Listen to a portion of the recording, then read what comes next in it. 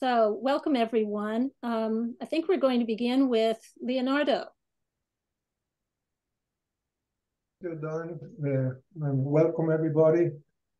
We will present some slides about the experience of, of the SAT uh, curriculum and its link to agriculture. Uh, let me share my screen. Uh,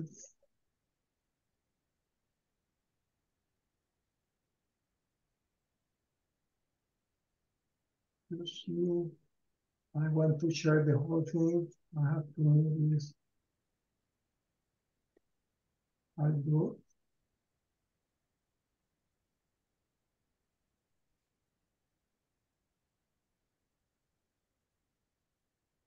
Huh. It's the other one. It's move over a couple. Yes, I know, but but, but I, I have the, the Oh, I see. the the the everybody's okay. I found it. Yeah, that's it. Okay. There we go. So before the 70s, there was not education beyond fourth or fifth grade in the rural areas of Colombia, and certainly not for Afro-Colombians. It was the same curriculum taught applied in urban areas. The initial purpose of the research at Fundaec was to generate a curriculum for rural high school education. The church has opposed the teaching of Baha'i children classes in Cali, in the slums, in the slums of the misery belt that surround the city. The opportunity then was to direct most of the efforts toward the rural area where the Afro-Colombian population of Cauca has shown a high receptivity to the faith. I will friends, for you to,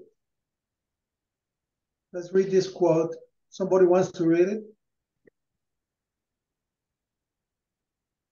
Don, can you read it, please? Sure. The quote. Among other principles of Baha'u'llah's teachings was the harmony of science and religion. Religion must stand the analysis of reason. It must agree with scientific fact and proof, so that science will sanction religion and religion fortify science. Both are indissolubly welded and joined in reality. If statements and teachings of religion are found to be unreasonable and contrary to science, they are outcomes of superstition and imagination. I do believe that all human beings are capable of looking at the world with science and religion. But what happens if we try to see the world with just one eye?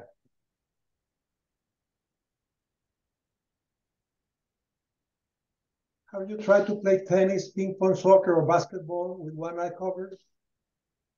What happens to our peripheral and depth perceptions? This is very important for us to understand Fundaec's initiative to develop a curriculum for rural areas, applying science.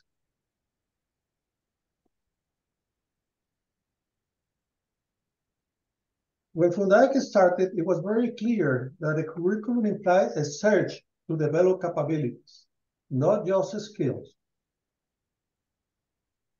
This is some of the capabilities, but very important on top is having service to the community as the axis, at the axis of the whole curriculum. This is a set of, of faculties, of capabilities the curriculum contributes to develop.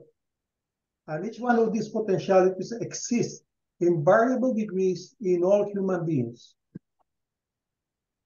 By an idea, by a simple idea just being beat down, it's it beat down so many times. Yes, yes, but the different text text textbooks are contributing to develop these capabilities. To have an orderly and systematic perception of the world, to be a logical thinker, to be a creative builder of things, to be able to analyze systems and processes, to be willing to use mathematical operations, to be able to use formative and qualitative data to describe, to describe the world, to be a good farmer, to be able to maintain your own health and improve communities' health, to be able to participate in the local economy and contribute to improve it, to be able to communicate with others, to be a good reader, a good observer, to be willing to experiment, to be able to rely on science, to comprehend reality and transform it, to feel satisfied performing a trade, to be a good family member, to be organized, and a good participant in helping your community to be organized, to be able to use, to, of using the different methods of science and to be able to appreciate, appreciate and use the artistic expression to transform reality. If you look at the curriculums anywhere in the world, nobody's teaching this.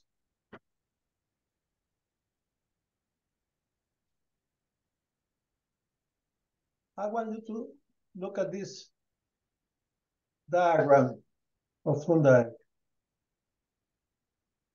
I was studying early on when I became a Baha'i 45 years ago, 46 years ago. I realized that the application of Baha'i teachings and scientific principles were interwoven. For example, learning or the process of building the, capa the capability about reading. Francia de Balcázar, which was, was an anthropologist developed some courses focusing on reading the reality of families, villages, and farmers. Wisdom in having polyculture. This is very important. It's just to read what you can see, what you can observe in your village, in your neighborhood. Nobody's teaching reading like that. Is there anybody teaching this kind of being able to describe the situation of a family, of, of a village, trying to learn to read the reality of that village. That's it. I, I would like for Erin to proceed with what she has to offer about the experience of SAT in Honduras.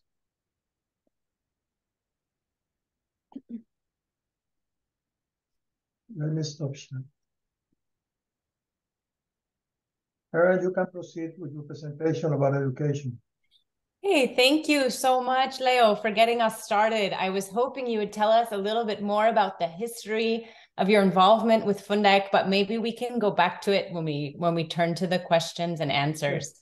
Yes. Well, it's, it's a great pleasure to meet many of you this morning. I think it's probably the first time we've met. So maybe I'll just start off with a more personal introduction. I really appreciate Don the professional introduction that you uh, that you shared about my my background and my professional background. So um, I'm joining you this morning from Berkeley, California.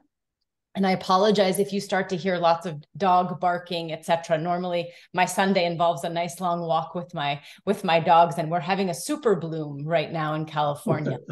I'm very excited to uh, to hit the trails later, and the dogs are excited as well. So I apologize in advance if that happens. Um, so as Don mentioned, I've been involved in uh, in the past 20 years or so with an ongoing program of research uh, looking more specifically at the educational components uh, in you know squarely in the field of comparative and international education so i actually grew up in massachusetts and did um, my undergraduate work in Massachusetts, and then went as a master's student in 1998 to the to Oxford University. And the backstory is that uh, it was at that time that Michael Richards, who I'm actually filling in for today, I should say. So uh, I'm sure many of you know Michael, and I know he's an active part of this group. So he is on an airplane right now, and so he couldn't actually present. But I think the initial plan was that Michael was going to tell you a bit about agriculture in the SAT program. And he reached out to me a few weeks ago and said, Erin, do you think you could fill in for me? Because I really want to make sure this group hears about SAT. And I said, Of course, Michael, because I always say that he gets all the credit for luring me into this program of research uh, to begin with. So 20 years ago, as a master's uh, student at Oxford, Michael actually said, Erin, you're interested in education and you have this interest in girls and gender and empowerment. Can you go to Honduras for a week? And I said, sure. Um, he said, you know, we have this grant from the UK Department for International Development. We got some funding. This was the Baha'i Agency for Social and Economic Development in 1996. Actually, um, they uh, they got some funding, and um, they they started this experiment again on the north. And there's there's a whole. I think it's actually a fascinating backstory here. Um, so I can I can share more of the details about it, but the um, the short shorter version of this long story is that um, Michael and his colleagues at BASED UK successfully got some funding from the UK Department for International Development to begin to experiment with this innovative program that Fundaec ha had begun in Colombia in uh, on the north coast of Honduras. So today I'm going to tell you a bit about um, that that uh, experience in Honduras and with the full disclosure that I am not an, a specialist in agriculture. So, my areas of interest are actually, as Don mentioned, I've studied um, women's empowerment through the SAT program. Uh, I have studied what we think of as like life skills and how do we conceptualize life skills. Much of my work is theoretical, thinking about what are these concepts and how can we understand them. But I have this incredible case study through which to explore these questions. And that case study is the SAT program in Honduras. So I haven't personally done a lot of uh, research or actually really any research re- related to the agricultural component of SAT, but it is within everything that SAT does. So while it hasn't been my explicit focus, one cannot study SAT without studying agriculture. So I'll share my screen. Uh, feel free to raise your hand. If you have a question, you can raise your physical hand or your virtual hand, and I'll do my best to answer those questions. Um, or we can also put questions in the chat. I'm happy for you to use the chat function. I'm not a great multitasker, but I like to uh, practice my multitasking skill. So if I see a hand raised, uh, I will de- definitely try to pause and take some questions. I know at this time of the uh, year, for those of us who work in academic settings, we already have a very low bandwidth for more presentations and more uh, people talking at us. So I'll try to turn off my screen share from time to time just to make sure uh, that no one has fallen asleep. Um, but hopefully with this time of day, at least in California, it's still early. So I'm, I'm still uh, feeling lots of energy and I hope to share that energy and enthusiasm with you about this uh, really fascinating experience that has unfolded in Honduras over the last uh, 20 years or so. Don, how does the screen share look? Is it okay? It looks great. Perfect. Okay, so I've already told a little bit of this history of SAT in Honduras. Um, as I mentioned, it got uh, funding from BASED UK in 1996 for a pilot initiative. And then we see this expansion of the SAT program in uh, from the 20, 2000s to the 2010s. So I need to I need to say a little bit more about what is SAT and why why is it so innovative in terms of um, education. So Leo already shared some of these really interesting um, components in his long list. And, and there's really a lot that one could say here. But essentially, Fundaec in the uh, 70s and 80s, when you know Leo was working with them, tried to understand what is it that youth need in order to be able to make a meaningful contribution to the development of their communities and they focused on these capability areas, and Leo read those capability areas. And that resulted in the creation of textbooks and um, and those actually I shouldn't even say textbooks I should say workbooks. We use the term um, textbook in in English, but really these are interactive workbooks that were designed around capability areas. So there are um, these core capability areas, science, technology as it is appropriate in rural areas, which is really agriculture in this context, mathematics, language and communication, and then the axis around which everything is organized is community service. And SAT has a very strong experiential and applied focus. So this um, is very different from how we normally see the organization of secondary schools in Central America and in Latin America and in North America um, where we have these traditional subject areas. Sometimes there's as many as 10, sometimes there's as many as 14, where we divide knowledge into these different kind of really false categories. Um, and Fundaec came and said, no, like that's um, not really the way in which we can allow these youth to build their capabilities. So as you know, the in, in Colombia, this was created initially as a non-formal education program but over time, the Colombian government recognized this as an alternative secondary education program. And then when it was brought to Honduras, is actually where we see the strongest uh, example of the formalization of the SAT program in Latin America. Um, it received full recognition from the Secretary of Education or the Ministry of Education in Honduras in the early 2000s. Um, it is really thought of as a public private partnership. So there's a Baha'i inspired organization that's called Asociación Bayan. They're based on the north coast of Honduras. They're a non governmental organization. They are the ones who help with this innovative system of tutor recruitment, training, and professional development. So, for those of you on this call, you're probably not surprised that they use the word tutor um, the tutor is this concept of someone who can guide a process of learning, but not someone that's filling you with information, more of a facilitator. Um, the SAT program and the Ruhi uh, program came about at a similar stage in time, and there was a lot of shared learning between these two um, really interesting initiatives that came out of Fundaec. They continue to use the word tutor, not teacher, um, in this program to really distinguish uh, this new idea of what a tutor is. There's a lot of other um, aspects that make this program innovative, uh, but those are just a few that I think are really important to mention just to give um, you a bit of an idea of what it is. So essentially what you can um, what you can think of is that this program is one of many in Latin America that have been identified as an innovative way to reach rural youth with secondary education. So in North America, the grades are 7 to 12. So we think of this as middle school and high school.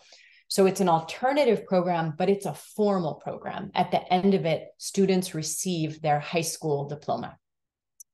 So my work um, studying the SAT program actually began with this trip that I that Michael Richards sent me on, where I looked at girls and women's empowerment through the program.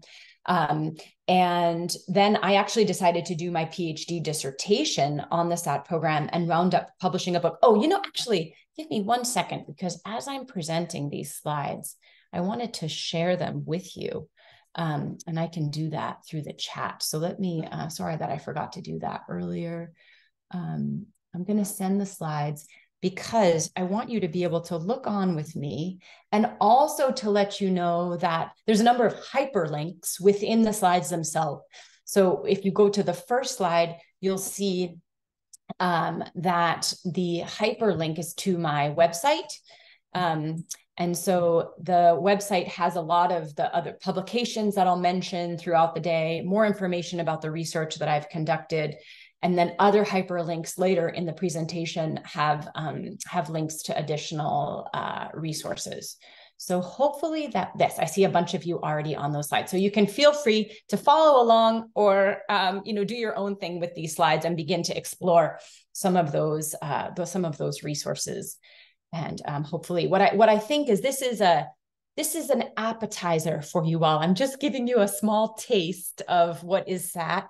And hopefully, the additional resources that I flagged today are really the ones that you can use to learn more about the SAT program. Um, because there's a lot to learn. I mean, just, and, you know, as Leo was saying, there's there's so much to say that we can really only give you just a very brief introduction today. So um, my career, I started with this PhD dissertation. It was on uh, women's empowerment. Hopefully the share is working again. You see Don? Yeah. Okay. Great. So, um, so that was the PhD dissertation, and then I, I published a book about SAT and women's empowerment. But as I was doing that work, I really wanted to better understand. Okay, so we know that this program is um, is a, a, kind of interesting one to study the context of women's empowerment. But what happens when we compare it to traditional models of secondary school? What do we know about the quality? What do we know about whether or not students are, um, you know, can do well on what we would think of as traditional measures of academic outcomes or educational quality. So um, luckily, I was able to get funding to do an impact evaluation of the SAT program this was a very um, extensive study. So we got one round of funding in 2007, and that uh, that first stage of the study went through to 2010, and then we got another round of funding in 2016. And the research design was what we call a quasi experiment. So we actually compared two systems of rural education. We compared the SAT program and the traditional model of secondary schools in, in rural Honduras, which are called the SEBs. And so um, the SAT program has these innovative um, you know, components with these participatory texts that are facilitated by a tutor. Um, they get all this training from the um, Bayan Association one tutor stays with the cohort throughout their schooling, so from seventh to 12th grade. Um, and then there's a, a, a specific um, kind of model for tutor testing, monitoring, and accountability, which is very interesting and very innovative in the context of um, Central American education. And that compares with these traditional schools, which have texts and lectures, very much a kind of chalk and talk pedagogy, not very much innovation happening there. Um, we could think of them as traditional schools. So we were able to create a sample within these um, two. We had about 100 total um, uh, communities in this quasi experiment where we matched uh, a sample of primary schools that were feeding into the SAT program and these um, SEBs and then we did a baseline survey. We did an assessment of sixth grade graduates in t- 2008 before they entered into secondary school. And then we did a follow up of this cohort, regardless of whether or not they enrolled in school in 2009 and in 2010. So it's a very rigorous research methodology. Um, quantitatively. And then we were actually able to also embed qualitative research in eight of these communities four were SAT communities and four were SEB communities. And as you can imagine, this opened up a whole line of work for me um, that because there were so many interesting um, things that we learned through this longitudinal design. It's, it's very rare and we were really lucky to have the resources to do this. So um, so this is kind of a visual of how we did the data collection um, with a baseline, a qualitative, a first follow-up, uh, another follow-up, and then a, a, second round of qualitative. And then also added within this, this second phase, we had, again, more um, a qualitative and quantitative in, uh, instruments that we applied and interviews that we conducted and luckily, at this time of this second round of research, I had a student um, named Becca Sharef who was very interested in agricultural education and in garden garden based education actually is what we often called it. She had worked in nicaragua extensively um, on garden garden based education. And so she actually did a study which i'll say a little bit more today as a part of this um, uh, phase of the research so there's a lot that I could say actually about the findings and what the standard deviations were and what the, the main findings were in, in, um, in 2010. But what I will say is that we had very positive um, outcome that even brought the attention of the Brookings Institution, a big think tank in Washington, D.C.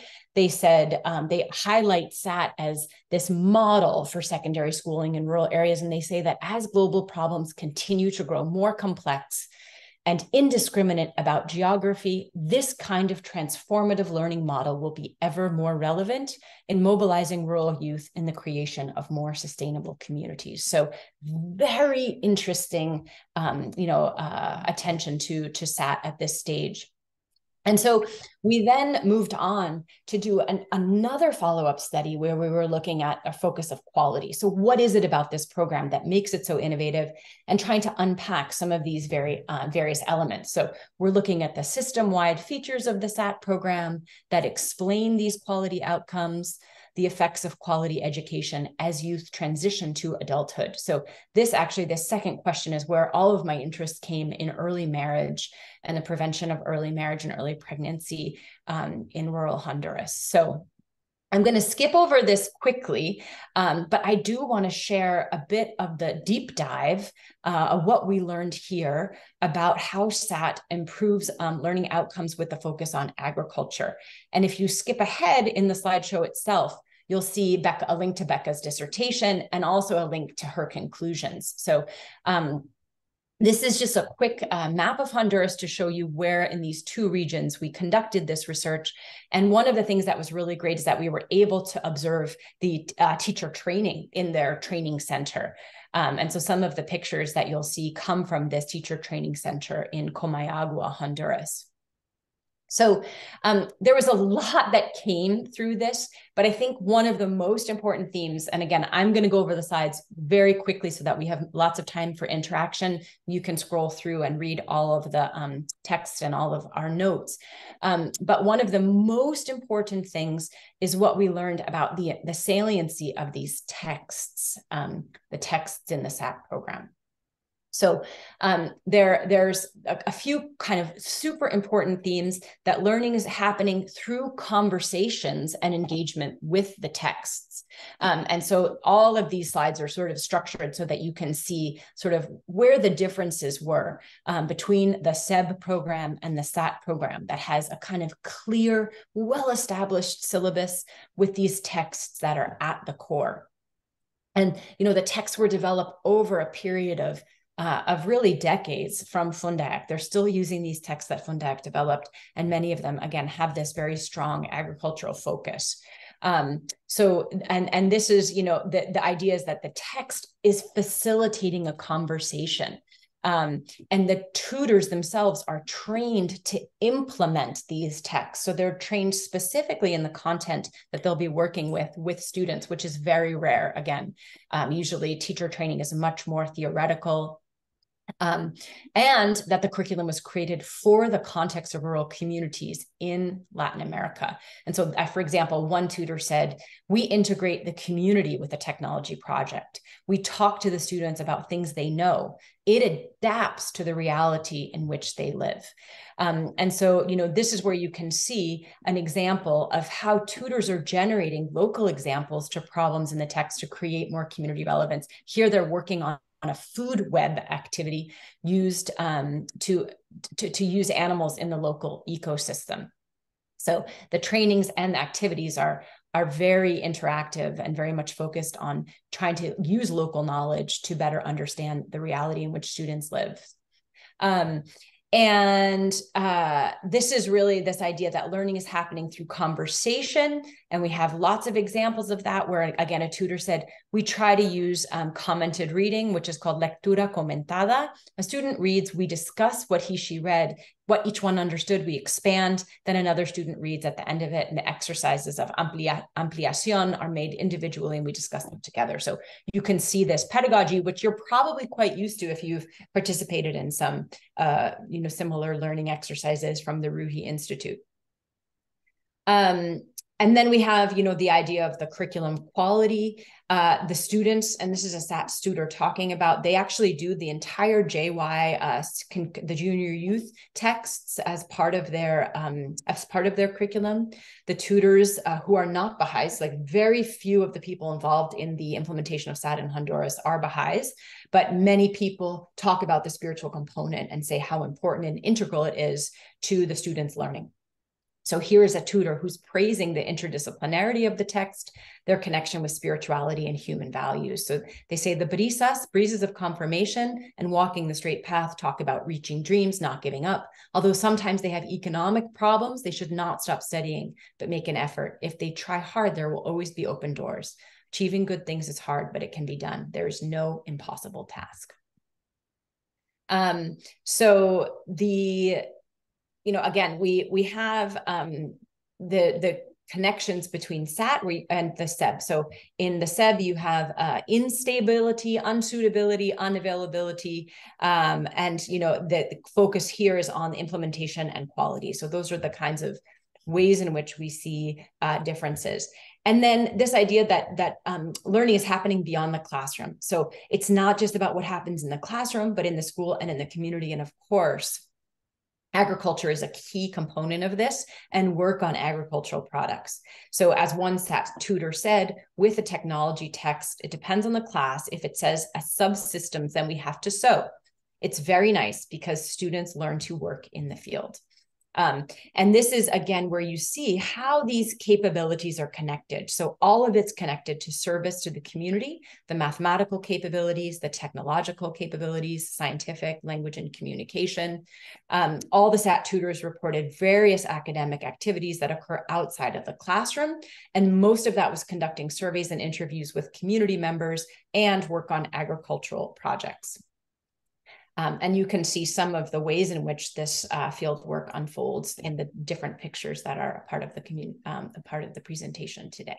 I also definitely recommend that you go and have a look at Fundaec's website. There's a lot of great documents there about how the SAT program was created, the core concepts, um, and uh, and and it's a much more in depth. I'm just going to stop sharing to to say hello and make sure you're you're here with me.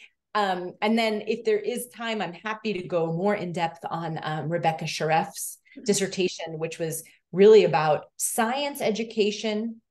It was an immersive field study of teaching and training in the Honduran SAT program with a focus specifically on two of the texts that are studied one is on um, raising chickens, and then the other is on um, has a has the focus on um, on agriculture as well. So I see a couple questions. So I, I think it would be great to. Um, I think Leo even had his hand up, so it might be that he wants to. Oh, great! And Mark put in the uh, um, the link. Thank you so much, Mark, for putting that in the chat. The link to Fundaec.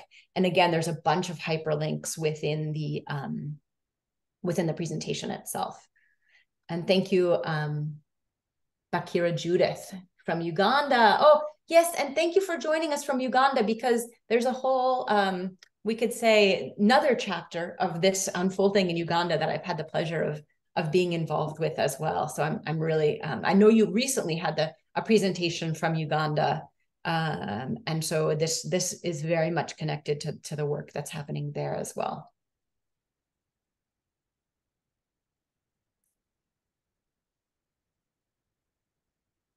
Great. I wonder it wondered if Leo Leo did have his hand up earlier. Yeah, I wondered yeah, if you wanted yeah. to make a comment, Leo.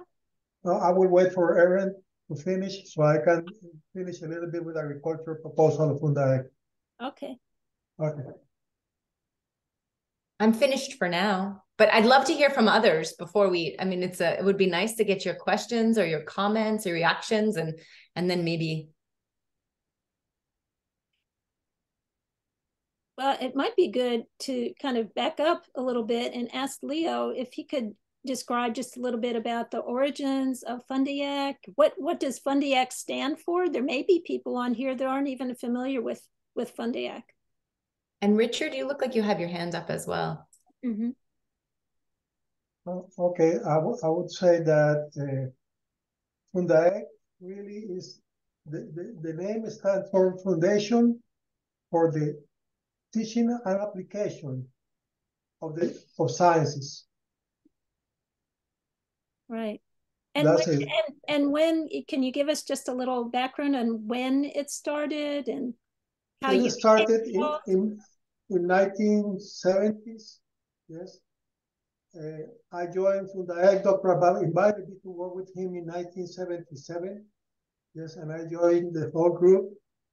Uh, I was there just for one year, and I left to be a pioneer in Costa Rica. But when I went back to Colombia, he invited me again to join Fundaec. Uh, and I worked many, many years in Fundaec. The important thing is how did it start?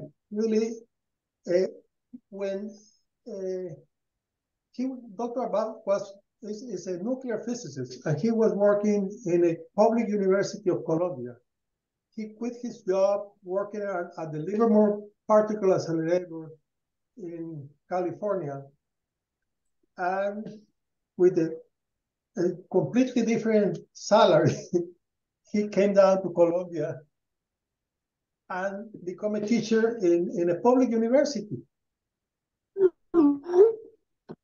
And uh, he got when the, the Archbishop, Archbishop opposed to the Fed in the in the slums of Cali, then he uh, uh, invited a group of professors, non-Baha'is, many of them or most of them, to put in a big matrix all the contents that a big university has to address the needs of the rural areas of Latin America.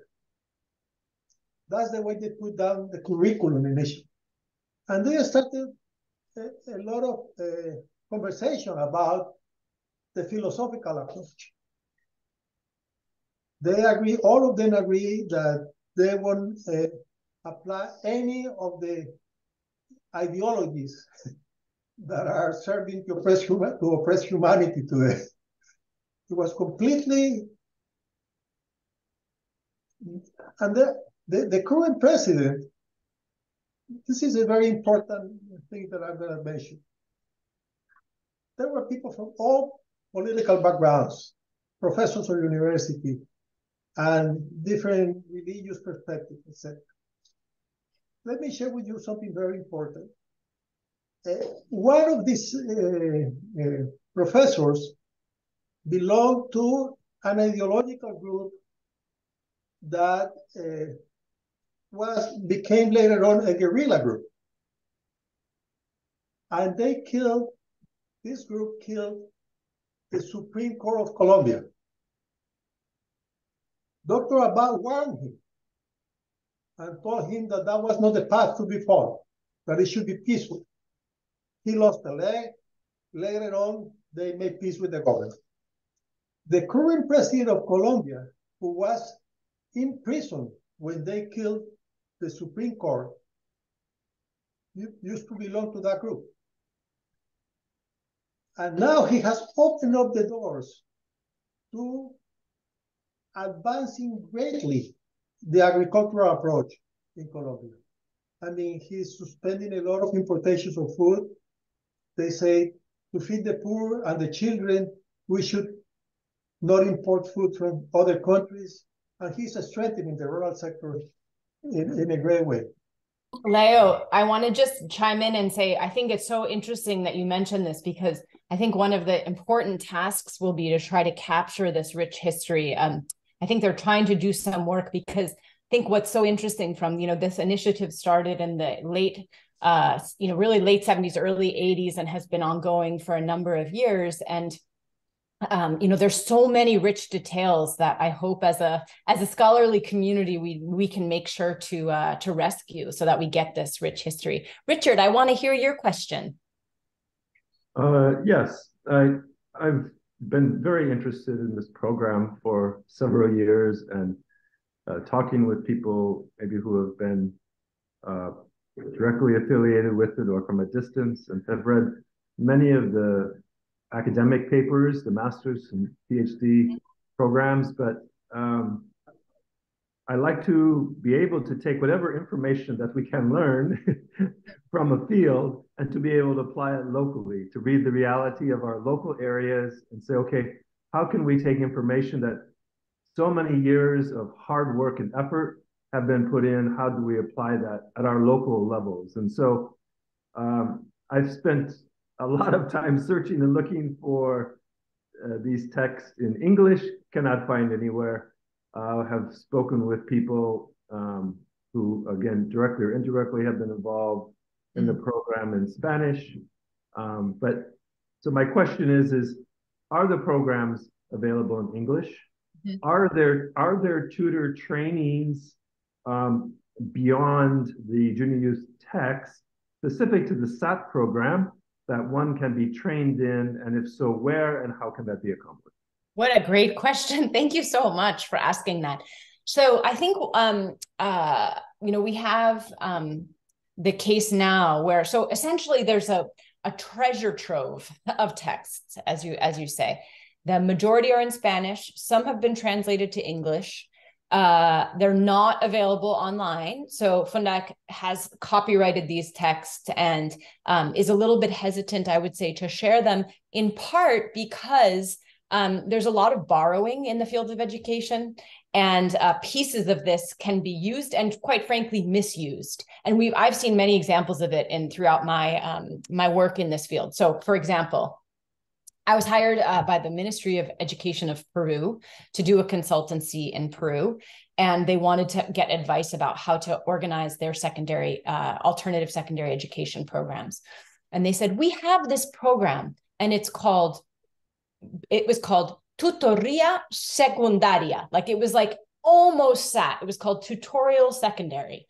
And when I started reading all of the information about it, literally they had copied and pasted components of Fundaec's uh, philosophy and um, you know uh, theoretical framework. They had literally taken it from Fundaec and used it, but they actually weren't using all of the the whole system, right? So I think the idea is that there's a system that has a lot of coherence, and to take one or two elements of this system is not necessarily going to be advantageous or effective and could really you know it's, it's almost like there's a brand you know just like there's a brand that needs to be preserved and and there's still a lot of learning that's being done by fundaec about what um, kinds of applications of these um, components of the of the system could be potentially uh, you know appropriate in different contexts. And so i think what's been learned is that context really matters and that um, the folks at Fundaec have now begun to experiment with the um, use of some of these texts. Like, so for example, in Uganda,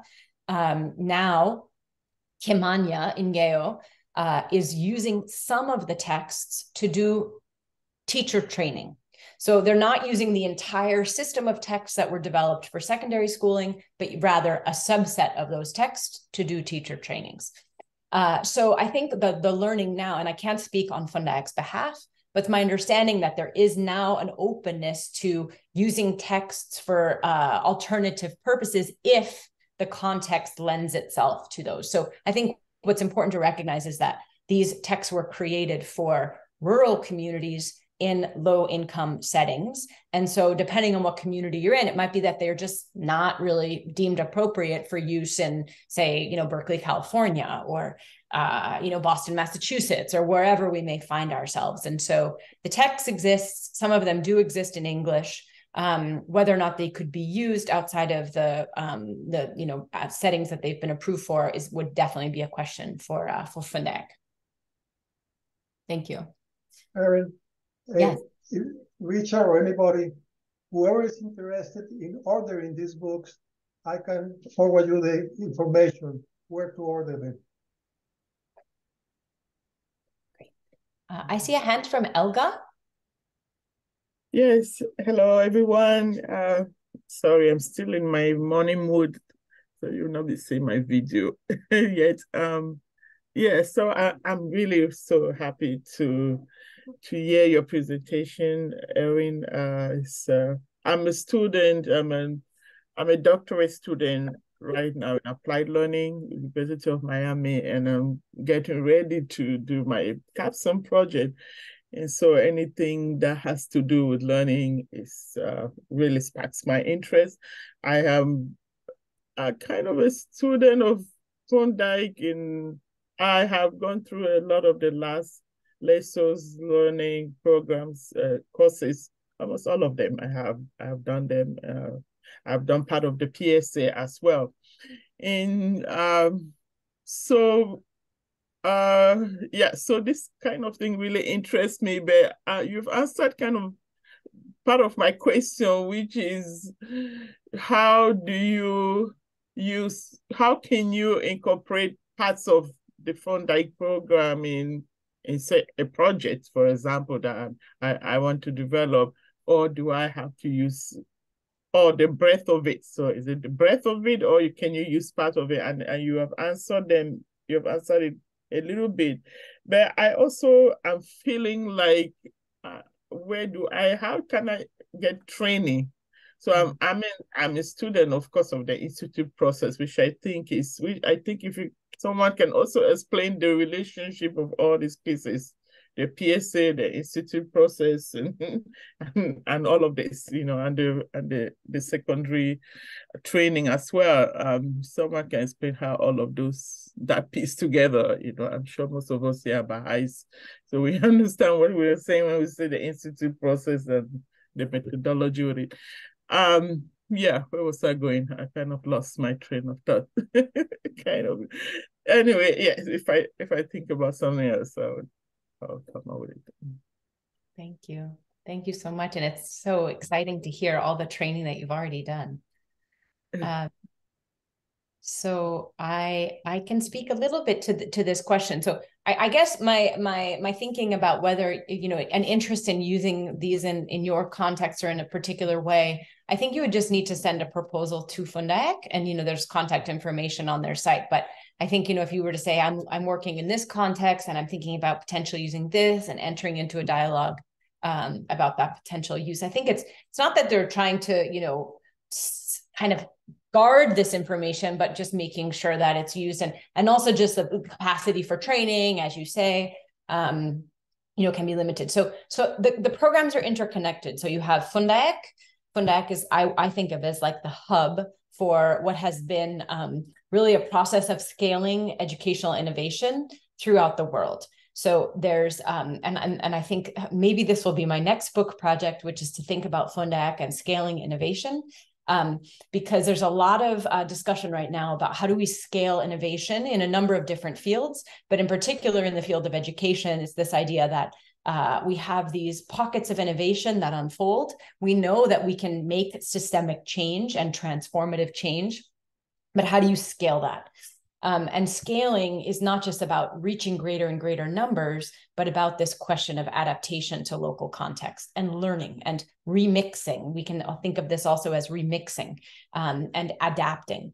And so, what's so fascinating to me about this case study of Fundaec is that we see this um, application in the context of Honduras, and we've learned a lot about this through Becca's study on uh, on the agricultural components and environmental education and We've learned about the gender impacts from some of my work. We have other, you know, as um, as Richard was mentioning, a lot of master's theses, PhD theses have been written on on Fundaec's programming. So we're learning a lot about, you know, why they're so innovative and why they're so effective. But also there's been this adaptation, not just in terms of SAT and SAT to the Honduran context, but this recognition by Fundaec that formalizing the SAT program came with trade offs. So, in becoming a formal offering that was connected to the government, there were government requirements that had to be met. And this made the essence of what uh, was trying to do with this alternative, innovative program. It, it um, in some ways, uh, created some rigidity around like how the curriculum was delivered um, you know how much innovation could take place because there's all these requirements for being a formal secondary school program in the context of uh, of honduras.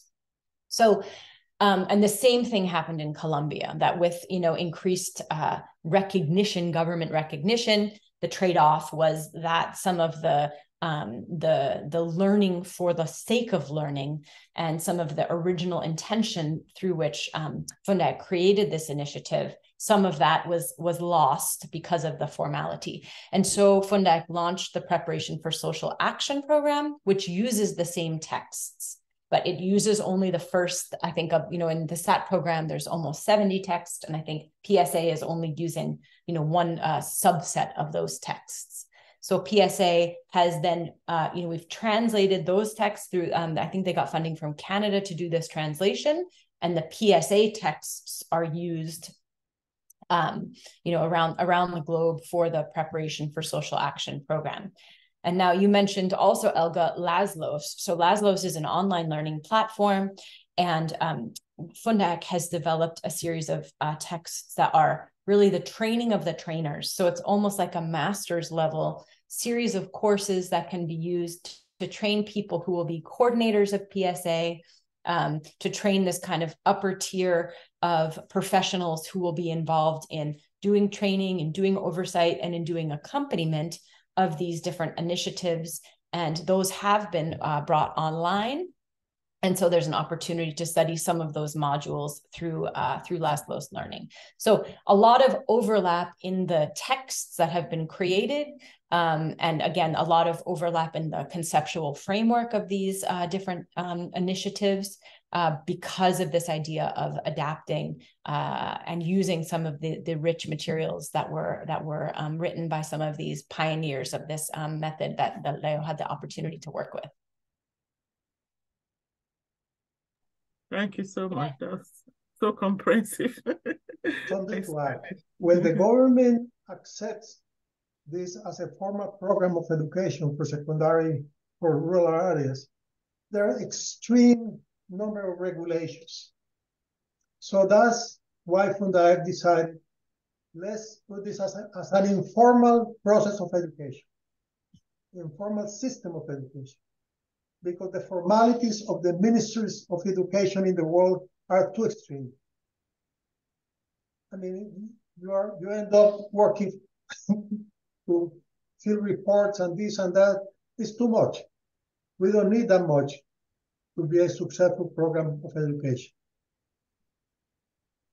Yeah. Um, Erin, I think there are a few questions in the chat. Yes. Uh, so the question is, uh, can we hear more about the uni rural university? And is it the same as uh, the President SAP program? Thank you so much, uh, Winona, for this brilliant question. So Fundaec created a uni rural university to train the teachers. And, um, and it was a four-year university. And unfortunately, the same process unfolded at the level of the rural university as we saw uh, with the secondary program in Colombia, where as the Colombian government passed more and more regulations for universities to become accredited, Fundaec lost its accreditation as a rural university, decided to not pursue accreditation mm-hmm. because they would have had to be publishing peer-reviewed papers and you know they had a number of requirements you know getting external funding for research and their purpose as a rural university did not align with the government's vision of what a university was. It was a, a different vision, and it wasn't feasible um, really to, to, to kind of preserve the mission of Fundaec in generating local knowledge and not just um, thinking about you know the traditional forms of academic knowledge that that universities um, prioritize and so fundaec essentially closed the rural university so the rural university is no longer in existence but again, the materials that were used for the rural university continue to be exist and to be used in other contexts.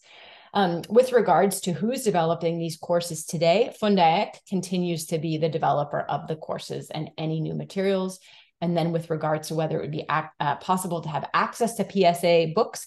So PSA is actually really interesting in that Fundaec um, has passed along responsibility for PSA to the Baha'i Office of Social uh, in economic development. I, am getting that wrong. It's the Baha'i Development Office, BDO. Does someone else know? I forget the new acronym. Baha'i International Development Organization. Yeah.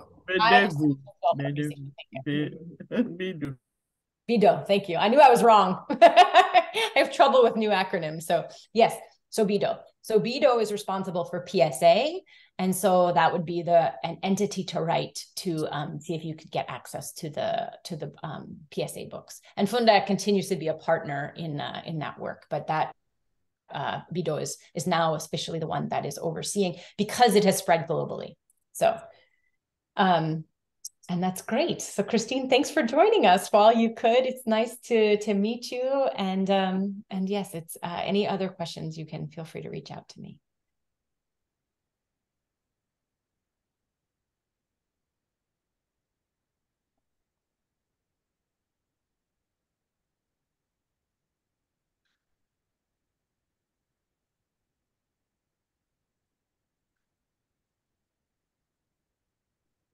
There's no one can ask one one last question and then I will ask another one. Um, so and and this is around the the terminology today of internet the terminology of international education. Um, yeah, I'll I'd like you to speak a bit more about um, number one, where is the the the thought the thought, you know, um what is in the the thought the thought leaders today in education? What does that even what does that look like? Because yeah. I, I know international education, I mean, uh currently most of the popular thought really means a deviation from Western education. Mm-hmm. That's when you call international education. So when we when you use it in in terms of Fundaec programs and and of course the SAT program. So what what what does that look like? Is that the same terminology? Should we be using that terminology in the first place? That's a great question. Thank you so much. So I, I kind of say like that I'm in this field because the, the professional association I've done most of my like work with and the journals that I've published with are um, connected to the Comparative and International Education Society, um, which is the acronym is CIES, and you can find their um, webpage and search the like conference programs. And so, you know, there's been a group of Baha'is who have worked loosely in this field and presented at this conference uh, for a number of years. In fact, um, Dr. Hale Arbab, uh, who is one of the, um, you know, kind of uh, founding members of Fundaec. She's been connected with Fundaec for quite some time. She got her PhD at UMass uh, Amherst in in international education. I got my my degrees in international education. Um, Bita Correa, who's Hale and Gustavo's daughter, is finishing her PhD at the University of Toronto in international education. So a number of us have um, have worked in this field, but I think your question is beyond uh, answering, you know, in the context of this talk this morning. But it's a good one, and and I think we do find that it, it is a discourse community that is open to learning from the experience of Fundaec. And that's why many of us are working within this field. Is that we feel that Fundaec Fundaec's programs, SAT, PSA, um, you know, the experience in Uganda, these are kind of people who are searching for something different from the Western model. And there's been a lot of receptivity within that community. So when Winona um, has, say, has said that um, uh, we should hear a bit from, uh, from Neil, which I think would be wonderful, because it turns out that Neil um, also has some experience in uh, in, the, in, implementing this program, but in Costa Rica. So I didn't mention that it's um, you know components of SAT are offered in in Costa Rica and in Nicaragua, in Guatemala, in Ecuador. Um, you know, we have a number of really fascinating examples of how uh, Fundaec's materials have been used in different contexts. And I, I would love to hear from, hear from Neil. Is Neil still with us? I think he had to leave because he's on the Wilmette faculty too. Oh, okay. But his stories of uh, Costa Rica were part of uh, the learning that some of us had to feel so engaged in understanding Fundaec. So sorry about that one. oh, no problem. I'm sorry you had to leave. I wish I had been stopped talking sooner. Erin, I was wondering, um, since we, we do have some more time here, if you could talk about in Uganda some of the teacher and gardening, teacher gardening training um, that you had mentioned earlier. You weren't sure you were going to have time to discuss that, but that's I think people would find that really fascinating. I'm happy to. So, you know, so essentially what has happened is um, there's a there's a, a, a Baha'i inspired uh, organization there called Kimanya Ngeo. It was started um, uh, you know, a couple of decades ago. And uh, over time, just like in Honduras, the focus and mission of Kimanya has changed slightly. Um, but Kimanya was actually uh, a, a, big push for starting Kimanya was to begin to experiment with the uh, materials that Fundaec had created in the Ugandan context. And so back in the, you know, really like uh, 2009, 2010, um, a group in Uganda was trying to use uh, the similar model of working with youth and bringing um, what would have been a kind of modified version of the SAT program to the Ugandan context. And pretty early on, they they realized that it wasn't going to be um, it wasn't going to work, and it wasn't going to work because the school day is very very long, um, and so so youth didn't have a lot of free time. And there were not a lot of youth that were out of school and wanting to participate, and they didn't have formal recognition, and there was very high levels of dropout, and there was a lot of saturation within the communities in which they were working. So they decided instead, um, the quality of education is very very low in Uganda where you know most students in 4th grade still can't read and write a simple sentence. They have very very rudimentary arithmetic skills. The quality of teachers is very very low and so um, Kimanya saw this opportunity to use the materials that were developed that were intended for uh, students and also that were created by the rural university in Fundaec to, to create a program of teacher professional development for primary and secondary schools. And um, that initiative, uh, you know, sp speeding this up um, by, by about a decade, uh, is well underway. They've gotten uh, several grants, uh, research grants to, to do that, to do this teacher training. And a brilliant economist um, who is now based at the University of Chicago, and he's working with a Nobel Prize winning economist in the field of economics uh, he has done an uh, impact evaluation, a randomized control trial studying the effectiveness of this teacher training program in Uganda and has found that it has a very significant effect on student learning outcomes. And so they asked me to begin to collaborate to do some qualitative research to understand the process through which this has uh, unfolded.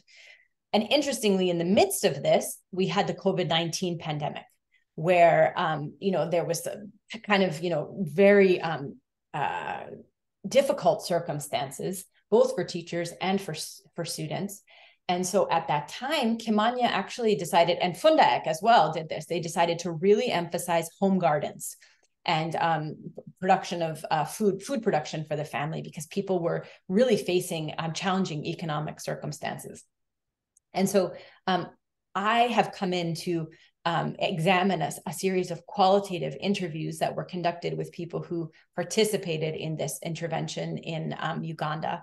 And what's so fascinating, and if you give me just a moment, I can actually pull up some of the some of this data, some of the excerpts of this qualitative uh, data on um, agriculture.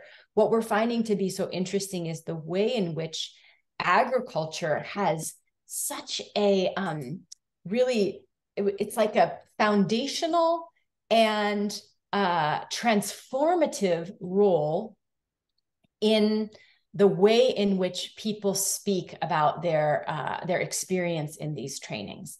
So it's it's like the, the the integration of agriculture is not just about um, earning a little bit of extra income, but as an analogy, right? So uh, it's an, an analogy for what teachers do with their students. So, for example, they'll say, you know, we think if we think of these children like plants, you have to water the plant. You have to make sure the plant has plenty of sun. You have to make sure that it has nutrients in the soil. Um, and as the teacher, that's my responsibility to be tend, tending these plants. Um, so, so the teachers talk about the gardens not just as a way for them uh, to to be uh, you know have extra income during these challenging times but through the experience of gardening and working in the gardens that these analogies about their role as teachers take place. So i can share um, one one teacher for example said being in kimanya has helped me to come closer to the child. Formerly teachers would not entertain children to come near them. Um, so that you isolate yourself. But because I learned that a child should come near you so the child will feel at home, we learned that a child is like a garden. And what I teach are seeds being planted in soil, that I'm getting the seeds in that soil. Who is the child? And therefore, I should bring that child to myself so that the child will be able to express himself or herself freely. Um, so, you know, it's it's there's a lot of when we talk to the teachers about their experience, you know they're they're talking about agriculture in these extremely interesting ways so another one said um, when they talked about agriculture we do agriculture at home they talked about science and everyday life uh, we move with science. I was happy when I came back. I came back changed. This is, you know, from the training. Things they're talking about are the very things we do at home. For example, when they're talking about agriculture, how we prepare for the garden, for planting. So I realized in my brain that the garden they're talking about in class or the school is the school. So when you pick what they're talking on or which they're saying, it is the, the things of daily life. So it's been a very, very rich context to better understand the transformative nature of this um, experience that folks have in, in teacher training.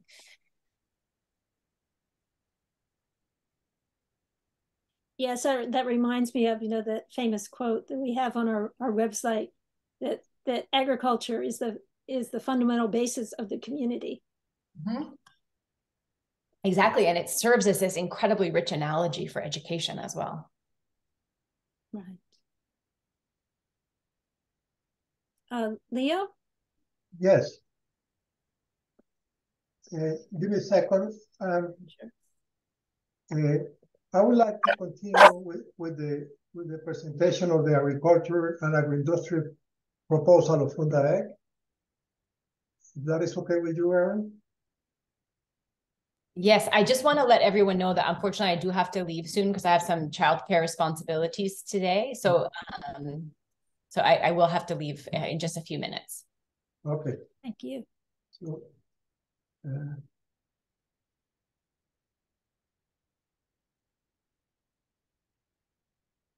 so let me continue with this.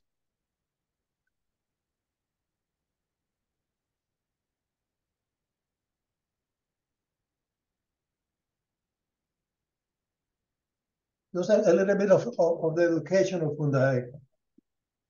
A 13-year-old boy or girl, seven or eight grader, are protagonists in social in society's building process.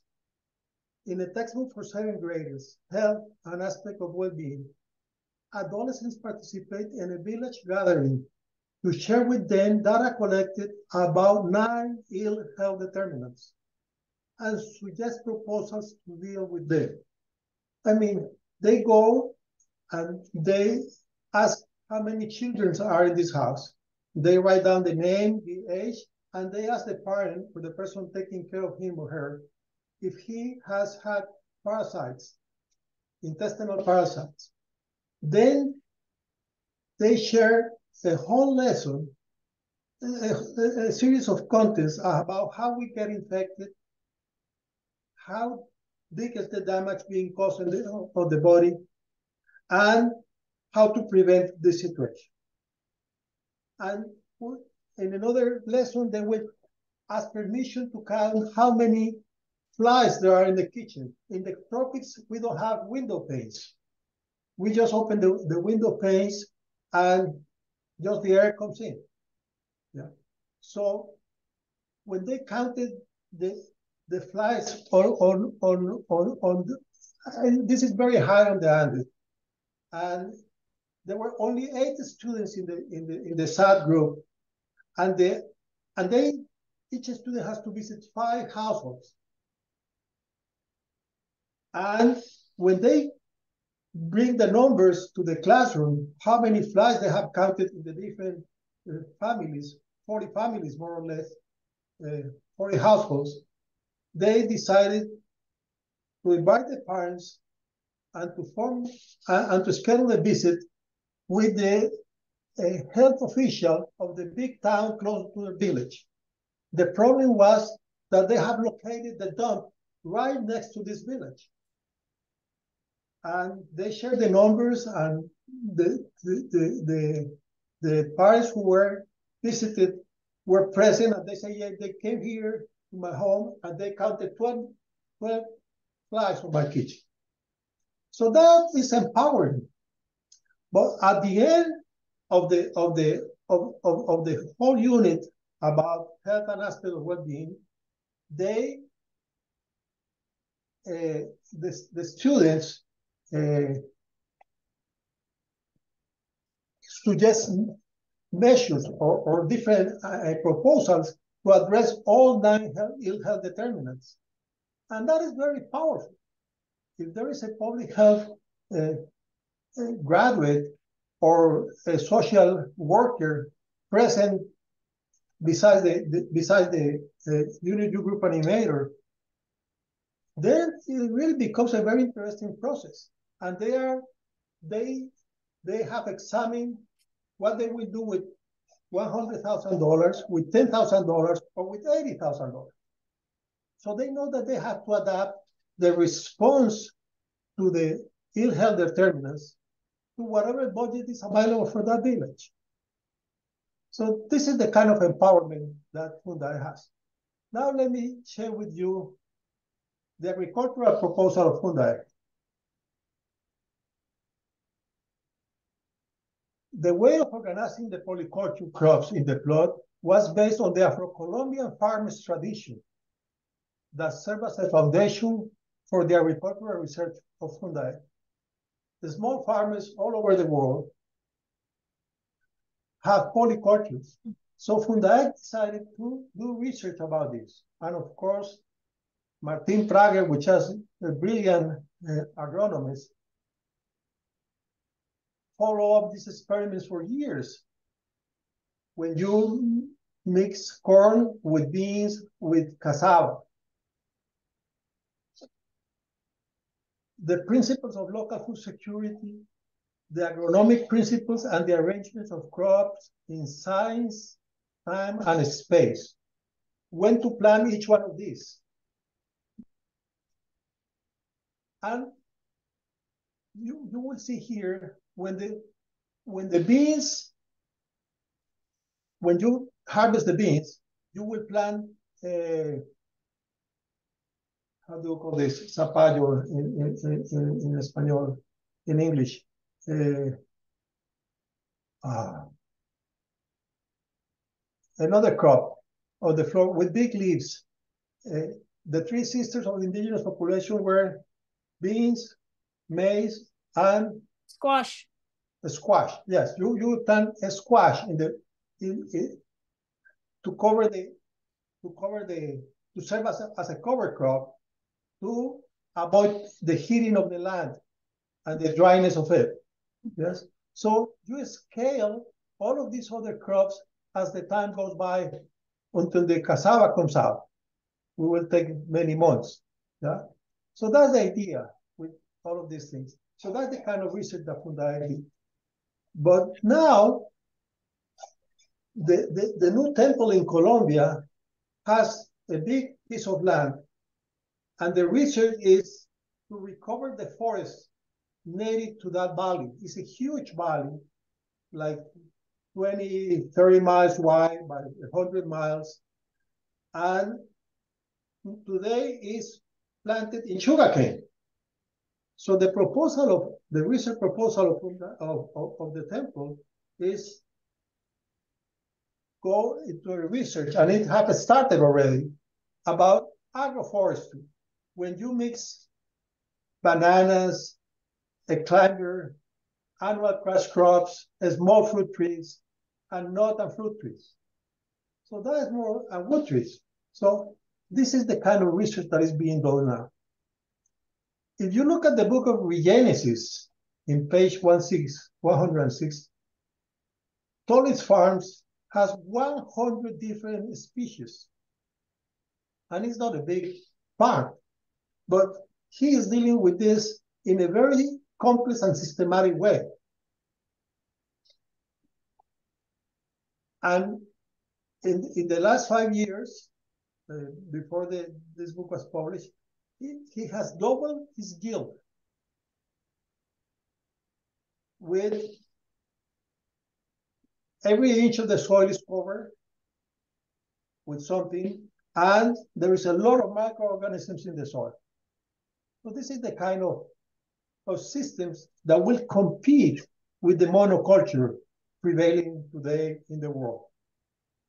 And of course, this is based in the principles of unity and diversity, on diversity of the Baha'i faith. Fundaec also did some research about the storehouse. Yeah. At the beginning, it was just providing the farmers with different tools and whatever they needed for the crops.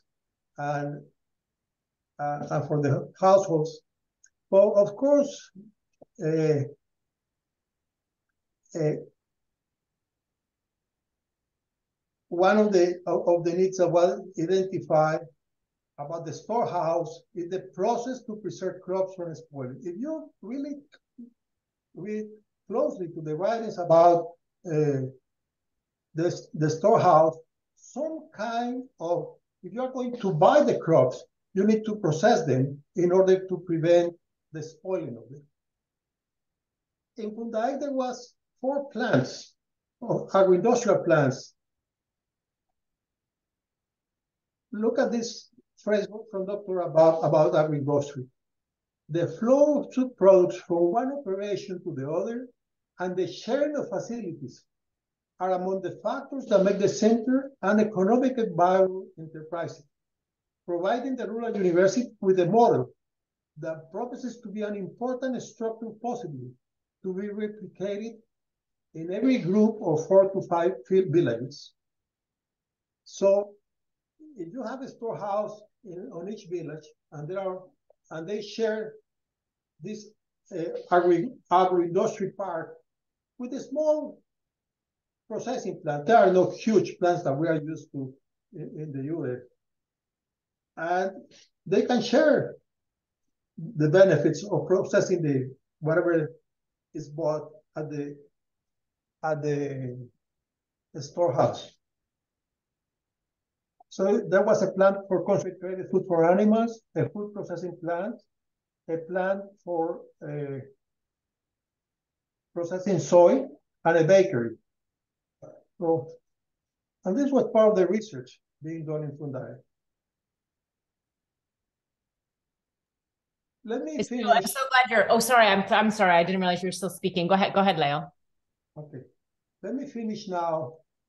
To hit an idea of how important agriculture is for the progress of the Fed, let us silently reflect on the prestige of the Ruhi Institute was the result of its link to its twin institution, Fundaec, and its pursuit and its pursuit of unity in science and religion. I want you guys to read these quotes in here in silence, and then I will have I have two more slides to talk to you about it. We just have six minutes left, I think, Leo, just as a FYI. Okay. Yeah, I will give you one minute to, to in silence read those quotes.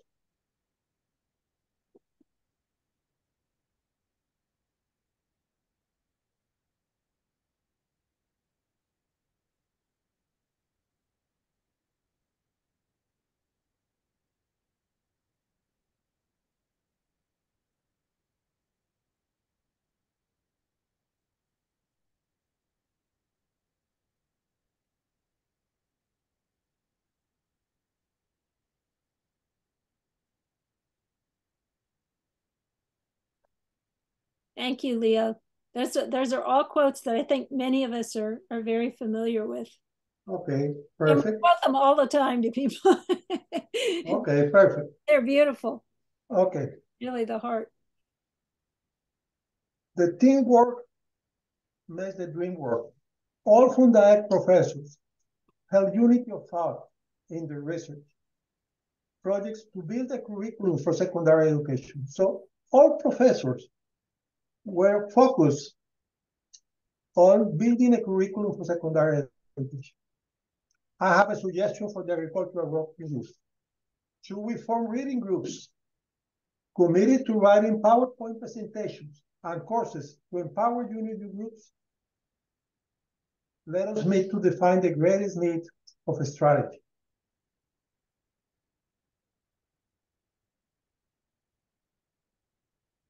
Finally, I would like to share with you this. Uh, this is my new book, The Single Science, the new edition. And I'm talking about seven different methods of science. The idea with this is let's teach them in the context of the potential of biodiversity to generate employment in the world. To replace the construction industry which is defined as the engine of the economy of the Western world. And how to do this? Let's empower the girls, the sons, the daughters, and the sons of the farmers of the world, and the youth of the world in general, to learn the, the method of science in the context of the potential of biodiversity. And then they can take those methods to apply to any collective or personal need, aspiration, problem, etc. That's it. Thank you, friends. Thank you. Thank you. Erin, did you have something you wanted to say? Just seeing Neil, that Neil has had his hand up for quite some time and Winona put her hand up at one point as well. So I wasn't sure if it was intentional. Yeah. Yeah. I, I'll just take a minute. This was absolutely wonderful. Thank you both, um, Leo and Erin. I'm more of a philosopher. Um, I, I, went to Cambridge um, back in the day. It's just this I want to share with the group. The meaning of the word campus is actually field. And I think in the future, uni universities are going to have their campus as like a sacred space where people are going to see the growth of plants and the beauty of this, you know, terrestrial endowment. And that in the future, that agriculture pedagogically the study of agriculture is going to have a huge impact on pedagogy as a whole. Thank you, Neil. Thank you. And um, Winnie, did you have something? I'll just uh, reinforce, I think what Leo has showed us is that agriculture is a much wider field than many people think and it depends on the systems of the world.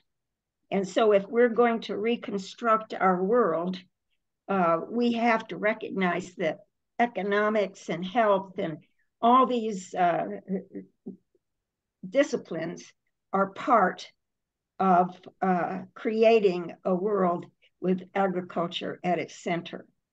Thank you. We're talking about 300 sec 300,000 secondary metabolites in the plant. Each one of them with potentialities for industry, for agriculture, for medicine, for nutrition, etc. One million species of insects. If you go to a Congress of Entomology, they talk about a few scores of beneficial insects.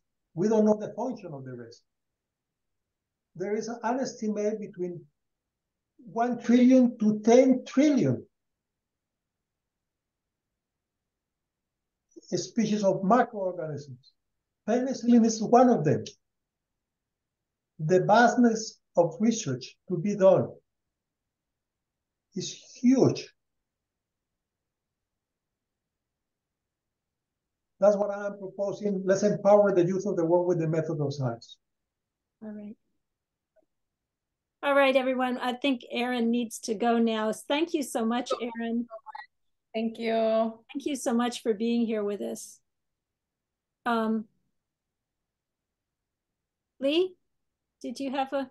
Yeah, I just had a quick um, thing, and, and someone in this group, and there may have been a couple of folks in this group, had gotten together and started drafting a little um, I guess, kind of workbook for junior youth around agriculture, understanding agriculture. And I think, I mean, I'm, I'm still doing a lot of work with with junior youth, and um, I think there could be, a, there is a real need for just some basic insights and, and guidance for animators to help junior youth groups who want to start a garden and you know to, to be able to be successful um, I think a lot of junior youth groups have been kind of hit and miss when it comes to to gardening, but I think there's a lot of interest in there, and, obviously, as we just heard, a lot of value in centering um, educational inquiry around uh, the act of gardening, gardening, and the metaphors of gardening. So I, I don't know if there's a if there's interest and and capacity, I think it would be a beautiful service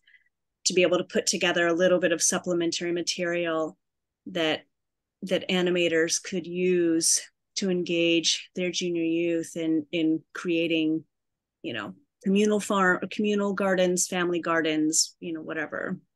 The school gardens too. Thank you, Lee. Thank you. Any other questions? Yes.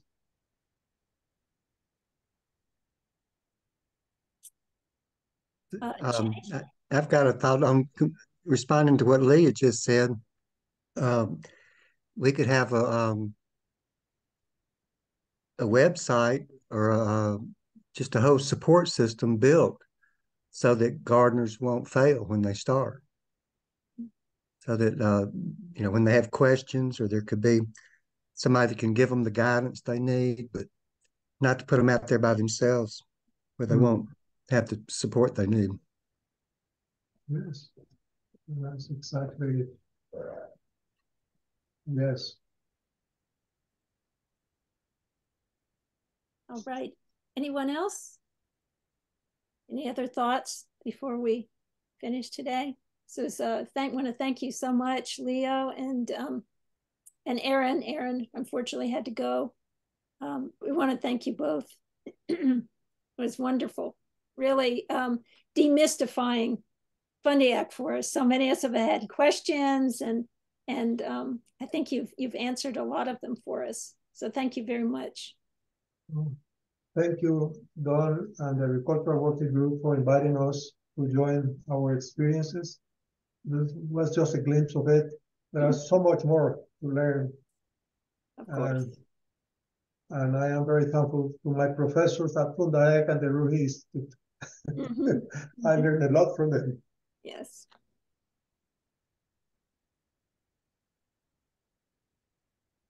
What is our next uh, program, Dawn? Do you want to mention it? Yeah, um, so our May program, of course, you know, we always meet on the last Sunday of each month. Uh, the next program is going to be uh, Gary Richet, and he's going to talk about some of the issues of and some of the ways that people in Ukraine have been dealing with agriculture. As we're, you know, well aware, many farmers have been disrupted there, and so people have had to had to to work look at you know alternative methods of agriculture there and and also in terms of community support refugees and all that so he's going to be with us um, at the end of may the last sunday in may so we'll look forward we're looking forward to that Let, let's end up saying a prayer for Ukraine and Russia. yes Yes. would you like to say a prayer someone like to say a prayer Yeah. y el libro de las dificultades, salvo de Dios. Di alabado sea Dios. Él es Dios. Todos somos sus siervos y todos nos atenemos a su mandato.